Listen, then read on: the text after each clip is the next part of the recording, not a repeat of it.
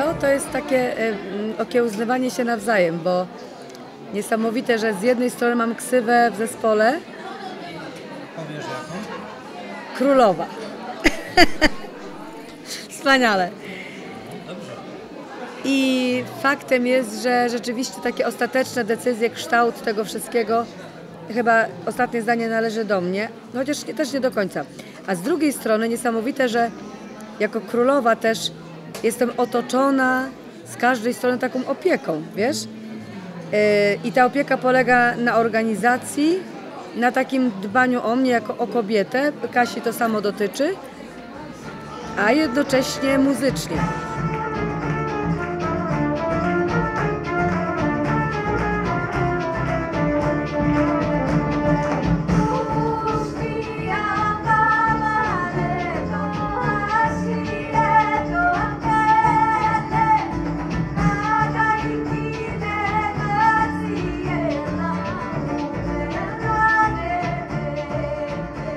To my tworzymy taki skład, że każdy z chłopaków osobno jest jakimś kosmosem, jakąś Saharą, yy, dziarskością, każdy, każdy inaczej. Tutaj nie ma średnich osobowości, tu nie ma podgrywajków, tutaj każdy ma po prostu tą swoją baję i dlatego na koncercie jest tak i musi tak być, że każdy musi choć przez chwilę się wyrazić.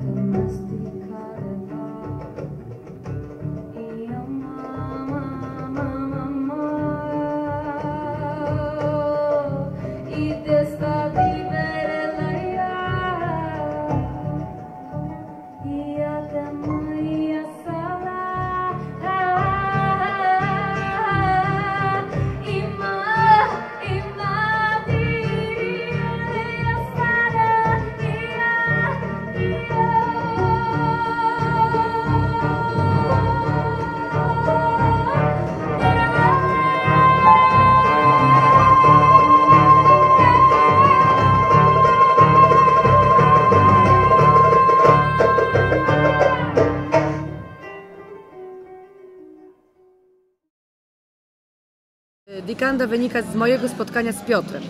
Ale myśmy najpierw grali sobie sami nie jako e, Dikanda, tylko jako przyjaciele, a mieliśmy taką bajkę, żeby sobie pojechać na przykład e, do Avignon na stopa. No i żeby się utrzymać jako wtedy jeszcze biedni studenci, no to sobie graliśmy na ulicy, nie? E, Na ulicach, w, w, knajpach, co tam jest jakby tradycją tego miejsca, bo to jest festiwal teatralny, taki street granie. No i to nam pozwoliło się powiedzmy utrzymać tam, żeby mieć na pole namiotowe jakieś winko i, i camembert, nie? Później drugi raz pojechaliśmy, to już sobie kupiłam akordon, którego wzięłam na kredyt i powiedziałam, że na pewno po Avignon go spłacę, nie? I tak było. I, I wtedy już zaczęliśmy śpiewać piosenki, które do tej pory są w Dikandzie.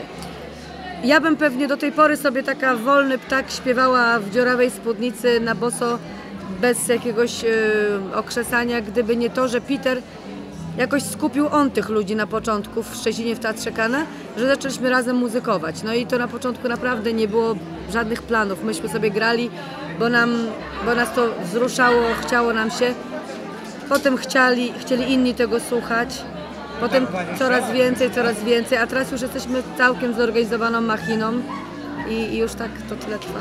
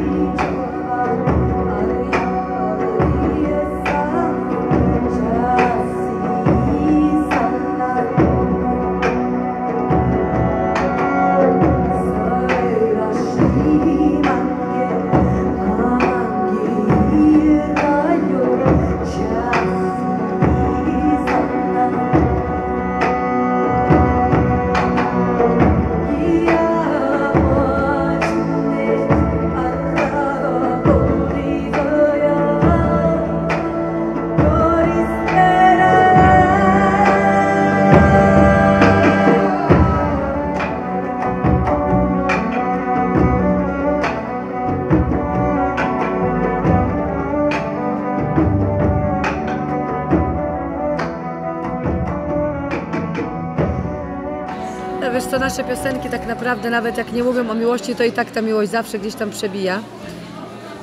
E, A z tym klipem drugim, o którym mówisz, Kolo Diamana, to jest bardzo ciekawa historia, bo e, do nas się zgłosili filmowcy, którzy robią e, filmy alternatywne. Między innymi na przykład zrobili film, do którego prosili o naszą muzykę, w którym główną rolę gra przyczepa kempingowa. Jest to film drogi.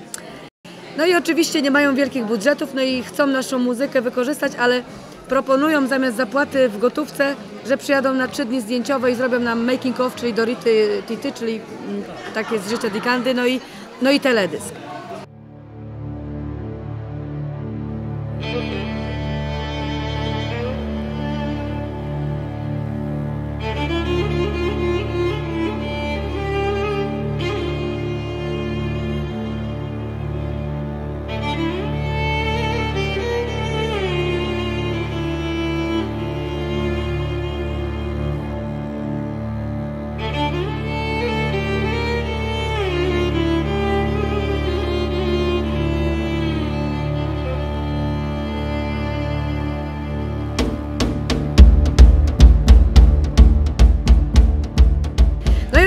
I oni przyjechali, Belg i Niemiec.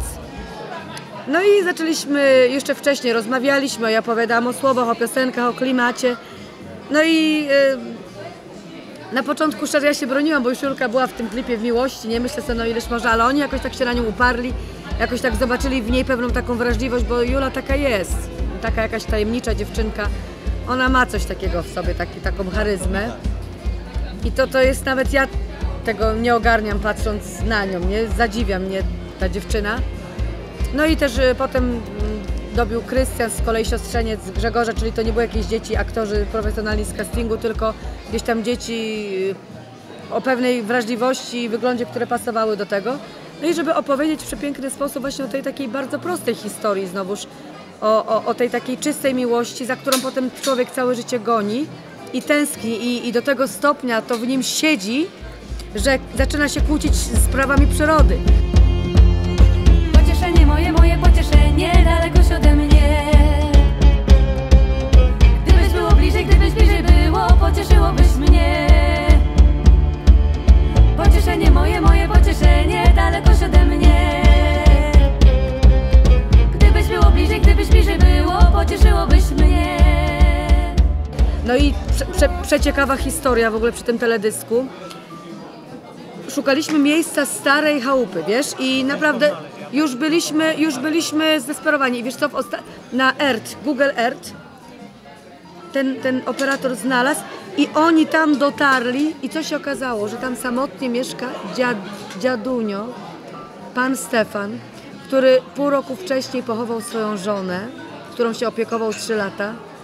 Niespełna 90-letni starszy człowiek o tak pięknej kulturze, naukowiec, emerytowany pan profesor z Akademii Górniczo-Hutniczej, zaprosił nas pójść do swojego domu i jesteśmy z nim w kontakcie, dbamy o niego, dzwonimy, y, rozmawiamy, byliśmy go odwiedzić. Jest tam sam, ma co prawda dzieci, ma rodzinę, ale roz, roz, gdzieś tam rozjechani po świecie. I na pewno mu markotno. Na pewno mu markotno. Jeszcze ostatnio jak do niego pisałam, to mówi, że pies chory, więc nawet nie miał siły korespondować, bo, bo, bo z tym psem się zmaga. Ten teledysk jest przepiękny, ale chyba najważniejsze z tego jest to, że wygraliśmy znajomość z panem Stefanem.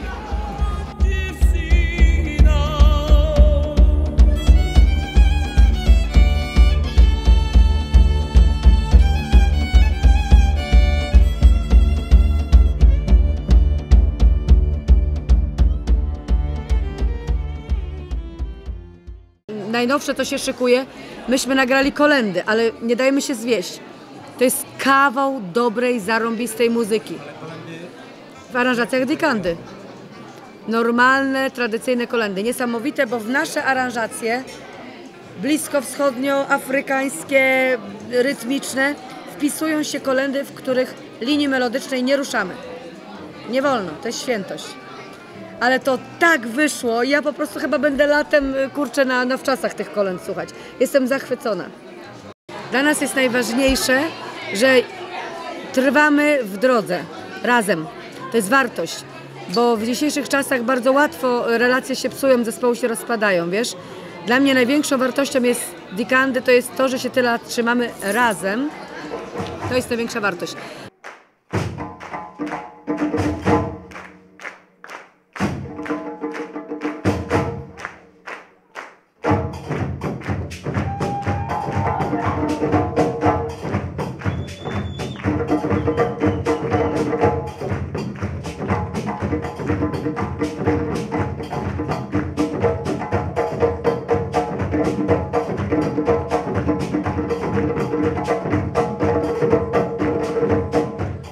No, ale tak wracając do tego tematu, że powiedziałeś, że jesteś zmęczona, to nie jest tak, że ja już się czekam, kiedy się ten wreszcie wywiad skończy, bo ja jestem bardzo zadowolona z tego spotkania. Mam nadzieję, że vice versa. Ale powiedziałbym tak, że no niechże ta Dickendowa księga się zapisuje jak najdłużej. I tak już całkiem gruba. I zostawmy parę tych pustych kartek, niech, niech następne zapisy się zadzieją po raz kolejny.